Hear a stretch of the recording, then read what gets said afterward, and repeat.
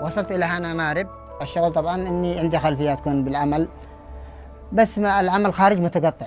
ما جاء للبقالة ما جاء للجهال ما ما ما ما, ما تحاولش إنك تحفظ منه شيء.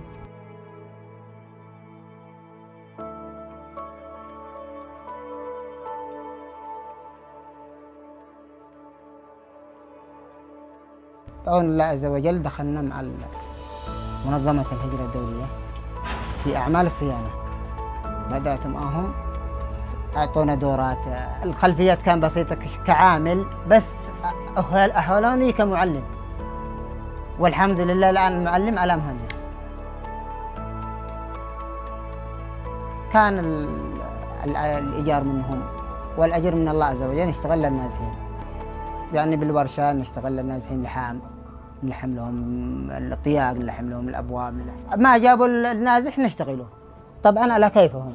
لأنه مهما كان نازح ونفسية النازح يحس بنفسه أنه مكسور وضعيف. كما أني كنت أتمنى من يراعي مشاعري فأنا أطبق هذا النظام داخل الورشة لمشاعر الآخرين.